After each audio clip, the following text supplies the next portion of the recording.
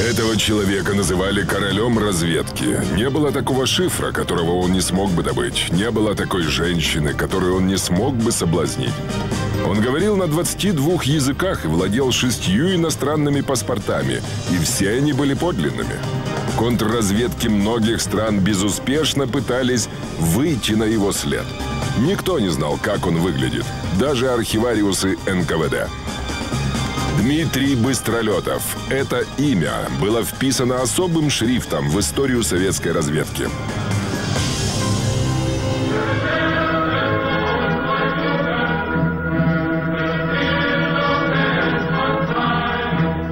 Италия, 1936 год. В комнату для досмотра итальянско-немецкой таможни вкатили коляску с инвалидом. Таможенник про себя выругался. Неохота было обыскивать калеку. И потребовал паспорта. Документы оказались в порядке. Графа Ильпатио перевозили из римской клиники в берлинскую. Таможенник приступил к осмотру коляски, к спинке которой был намертво прикреплен мешок с клюшками для гольфа. Он достал одну клюшку, вторую, как вдруг пациент дико застонал и забился в судорогах. Сопровождающий врач замахал руками и попросил не греметь клюшками. Он суетливо полез в сумочку и достал шприц. У инвалида изо рта уже пошла пена. Ему пришлось делать срочную инъекцию. Сделав укол, доктор сообщил, что у графа Ильпатио редкое психическое заболевание, полная непереносимость металлического лязга. Любой звук металла провоцирует припадок.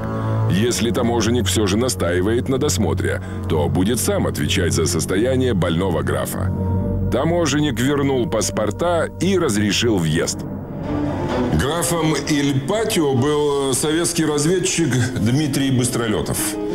Всю комедию с редким заболеванием он придумал, чтобы под видом клюшек вывести из Италии новейшую модель итальянского пулемета, которую потребовала Москва.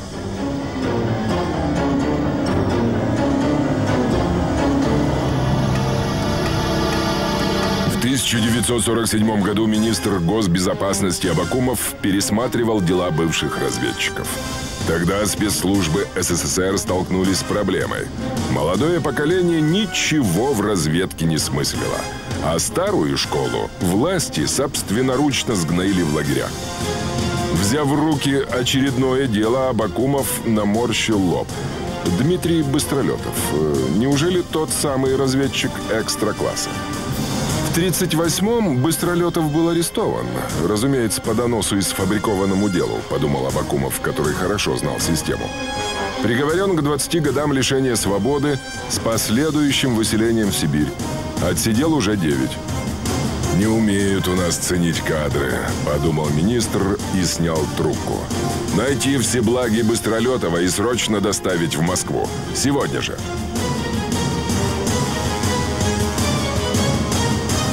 Быстролетов Дмитрий Александрович, внебрачный сын графа Александра Николаевич Толстого. Родился 4 января 1901 года в Крыму, близ Севастополя. Дмитрий Быстролетов умудрился побыть графом всего пять дней. 2 ноября 1917 года, за пять дней до Октябрьской революции, он добился признания за ним графского титула. А сразу после революции все титулы на территории России были отменены специальным декретом Совета народных комиссаров. В Первую мировую Быстролетов служил юнгой на Черноморском флоте. Участвовал в десантных операциях. Окончил гимназию и мореходное училище. Ушел во флот матросом, дослужился до старшего рулевого. В 1919-м дезертировал в Турцию, потом в Европу. Там Быстролетов умудрился получить несколько высших образований. В Братиславе – медицинское и в Праге – юридическое. Все эти годы он мечтал вернуться на родину. В 25-м получил разрешение вернуться в Москву, где сразу же был завербован. Аристократ до мозга костей, владеющий десятками языков и мечтающий служить молодой стране Советов, был находкой для службы внешней разведки. Ему было поручено вернуться в Прагу и обосноваться там под легальным прикрытием работы в советском торгпредстве. И тут же он получил первое задание – разработать сотрудника германского посольства в Праге по имени Курт. Имевшимся в резидентуре сведениям, помимо своих прямых обязанностей, Курт занимался сожжением секретных документов. Поэтому сразу же получил оперативное псевдо «Истопник». Быстролетов начал с наружного наблюдения. Он неделями следил за истопником, выясняя до мелочей его привычки и образ жизни. Вскоре выяснил, что Курт – большой любитель пива. По субботам он регулярно посещал пивную около Вацлавской площади, где, по свидетельству писателя Гашка, любил бывать бравый солдат Швейк. Там Курт сидел до закрытия, выпивая за вечер ровно шесть кружек пива. В разговоры истопник не вступал и всегда сидел отдельно. Дмитрий стал регулярно посещать заведение. Когда понял, что примелькался, пришел позже обычного и, подойдя к столику Курта, попросил разрешения присесть. Быстролетов говорил по-чешски с ярким немецким акцентом. Он решил выдать себя за прибалтийского немца, которого война и революция, так же, как и Курта, заставила покинуть родину.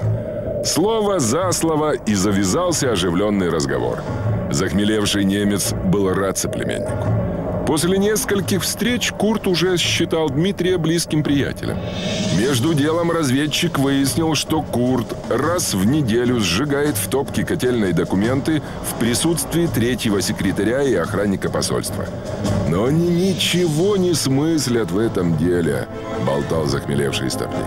«Стоит мне включить тягу на полную мощность, и пламя мазутной форсунки пойдет поверху, а нижний слой документов остается нетронутым. Тогда Быстролетов предложил Курту выгодное дельце – приносить ему недогоревшие документы, на которые уже есть покупатель. Курт решил, что сотня-другая крон ему не помешает, тем более, если имя его останется в тайне. Вскоре Быстролетов обладал ценными документами о планах Германии, которые фотографировал и передавал на родину. Тогда же Дмитрий Быстролетов сумел завербовать сотрудника британского Office Арно Эрнеста Олдема. Тот занимался ничем иным, как составлением шифров для английских дипломатов. В течение трех лет Олдем бесперебойно снабжал советскую разведку шифрами и кодами английского внешнеполитического ведомства и другими совершенно секретными материалами. Получение дипломатических шифров стало специализацией Быстролетова. В период с 30 по 1936 год он добыл германские шифры и установил контакт с сотрудником военной разведки Франции.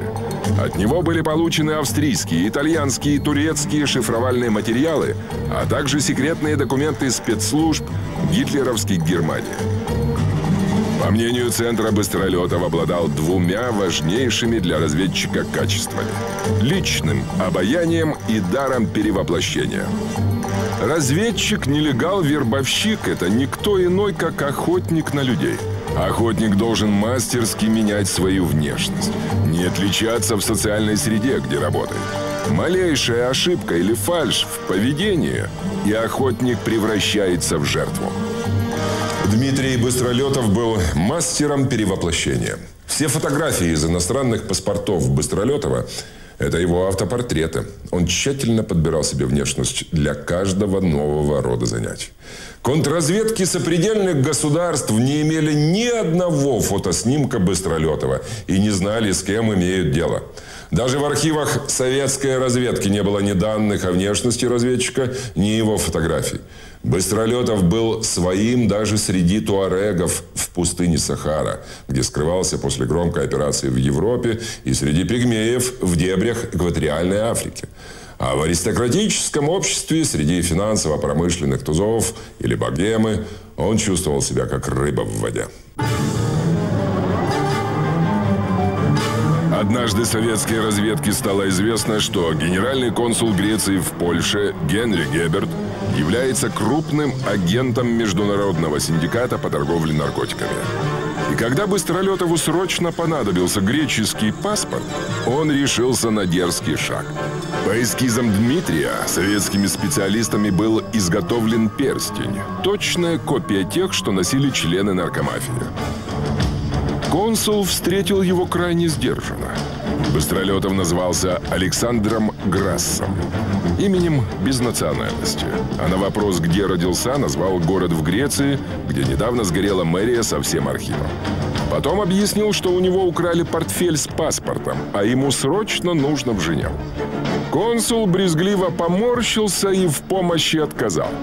Пухлая стопка денег для бедных этого прекрасного города, положенная на стол, также не произвела впечатления.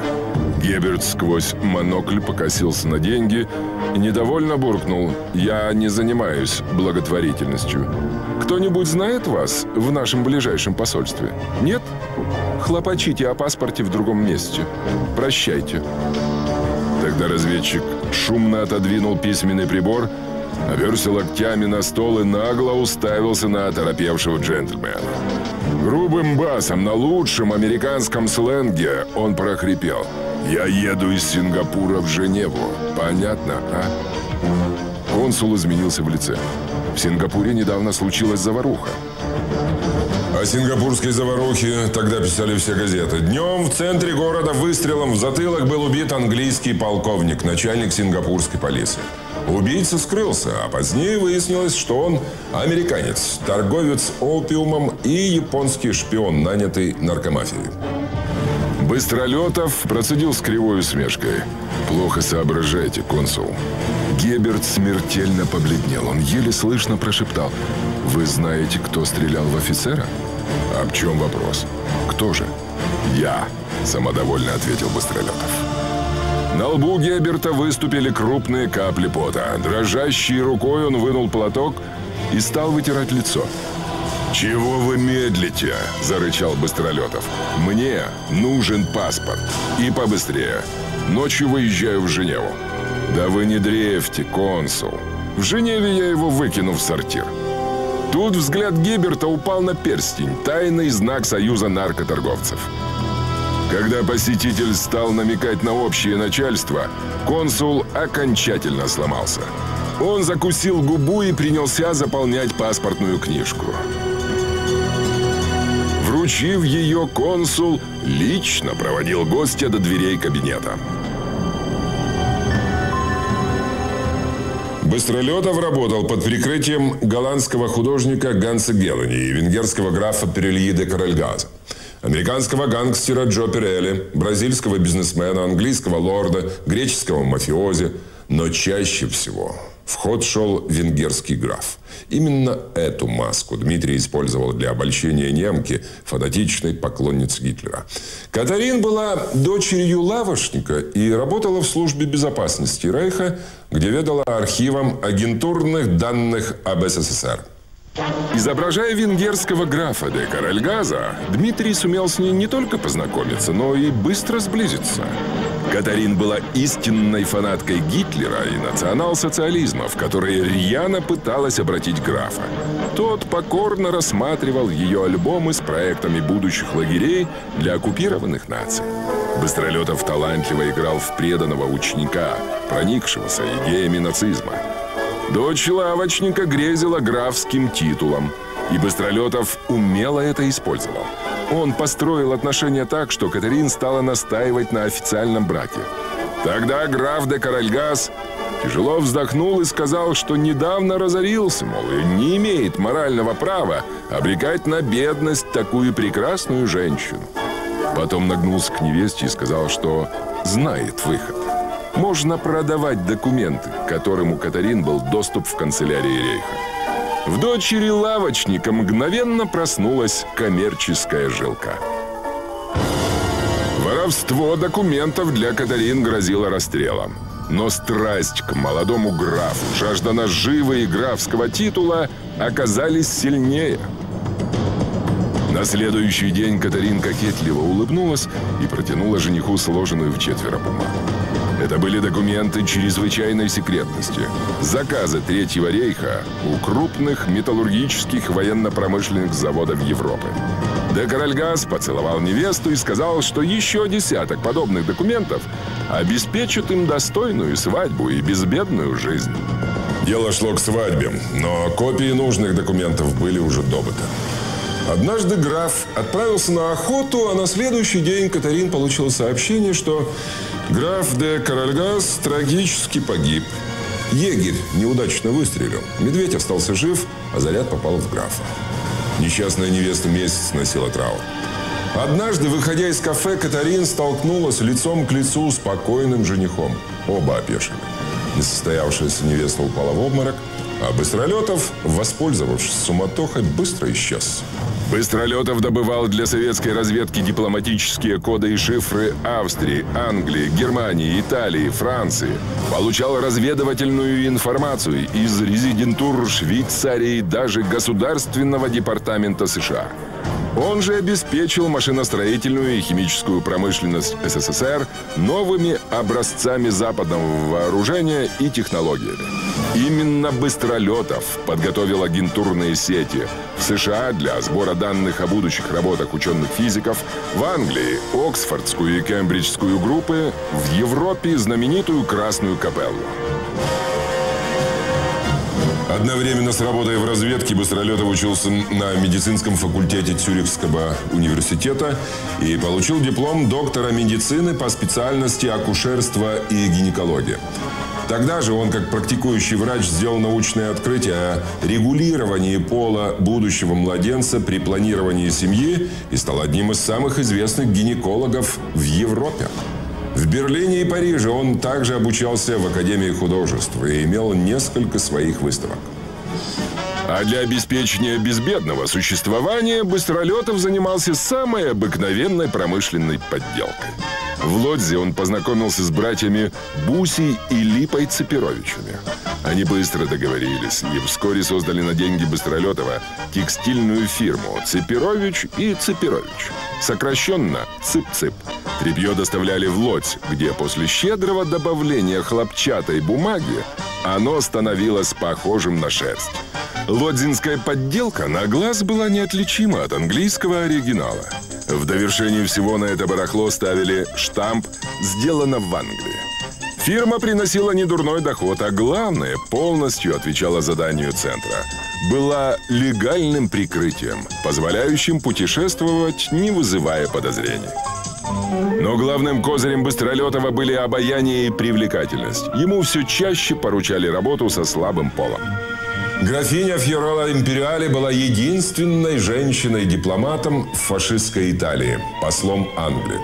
Образованная и богатая светская дама. Именно ее поручили соблазнить Быстролетову, несмотря на то, что она была старше его аж на 13 лет.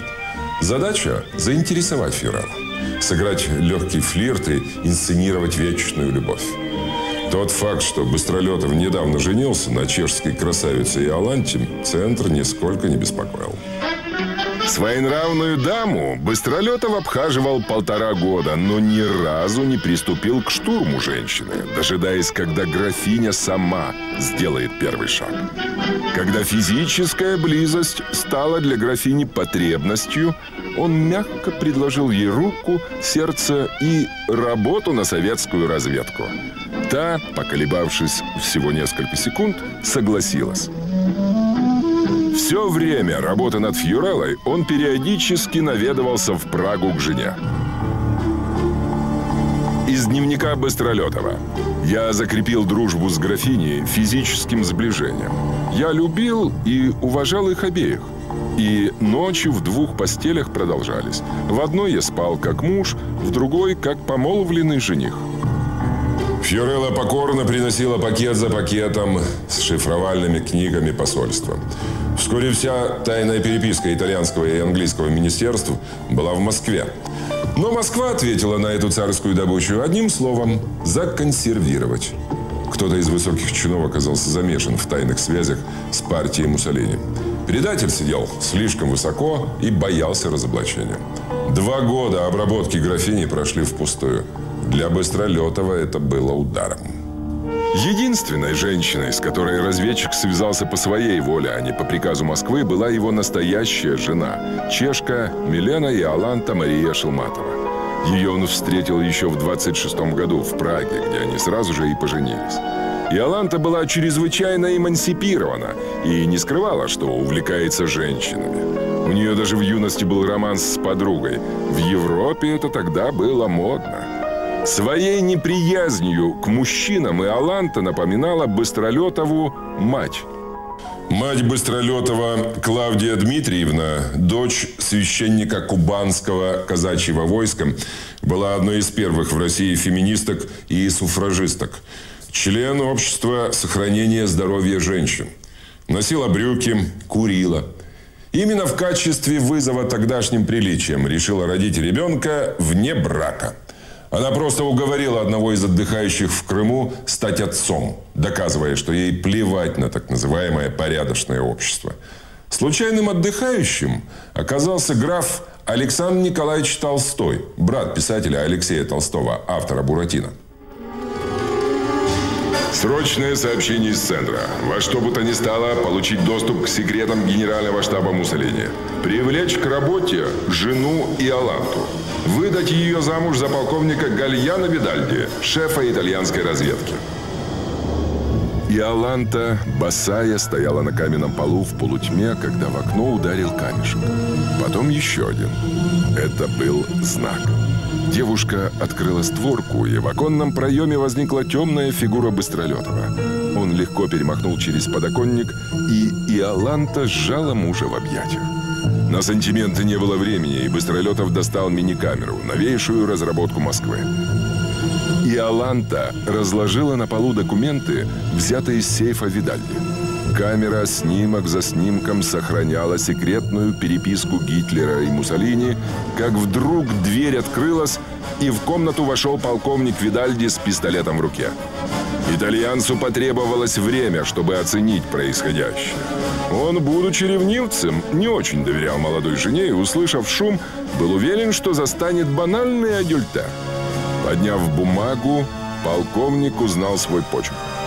В этот момент Быстролетов выхватил у него пистолет и приставил к виску. Разведчик заявил, что уйдет прямо сейчас с техникой, а документы вернутся на место. И лучше будет всем, если никто ничего не узнает. А если что-то случится с Алантой, то его, полковник Видальди, достанут из-под земли. После чего свернул камеру и исчез в темном проеме окна. Итальянцам, надо сказать, вообще не везло с защитой собственных шифров. Через два дня полковника Видальди нашли в окрестностях Рима застреленным. Официальная версия – самоубийство. За 11 лет работы Дмитрий Быстролетов не имел ни одного положенного отпуска. Усталость и утомление накапливались и сказывались на качестве работы. В конце декабря 1936 года он попросил разрешения вернуться с женой в Москву. Из архива. Через два года после возвращения на родину Дмитрий Быстролетов был неожиданно уволен из НКВД и переведен во Всесоюзную торговую палату. А через неделю, в ночь с 17 на 18 сентября 1938 года, его арестовали. Быстролетову инкриминировали шпионаж против СССР. Чтобы выбить признание в липовых грехах, разведчика пропустили через стандартный конвейер Сухановской тюрьмы. Быстролетова поначалу пытали легко. Топтали пальцы ног, били кулаками в лицо, выворачивали руки. Потом несколько жестче, выбивали зубы, проломили череп, сломали ребра, втаптывая их так, чтобы они распороли легкие. Били в живот. «Смерть не выход, она конец борьбы», – думал разведчик. «Если меня сейчас расстреляют, никто не узнает, что было на самом деле». И Быстролетов согласился помогать следователю сочинять липовое дело на самого себя. Быстролетова приговорили к 20 годам заключения в лагере общего режима и 5 годам лишения права жить в Москве. Его супругу Иоланту среди других жен репрессированных также вывезли в ссылку, где содержали в неотапливаемых бараках. Иоланта, страдавшая туберкулезом, не выдержала и перерезала себе вены. Спустя 9 лет каторги Быстролетов стоял перед министром Абакумовым. Несмотря на изможденный вид, в разведчике мгновенно угадывался аристократ. Абакумов вышел из-за стола и сообщил бывшему разведчику радостную новость. Его амнистируют и предлагают работу во внешней разведке.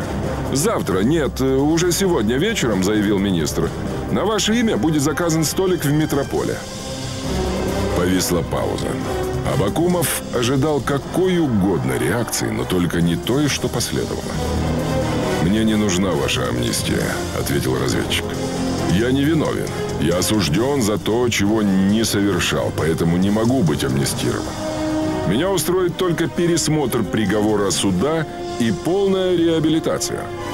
Абакумов испытал шок – Даже подчиненные не смели с ним говорить так высокомерно.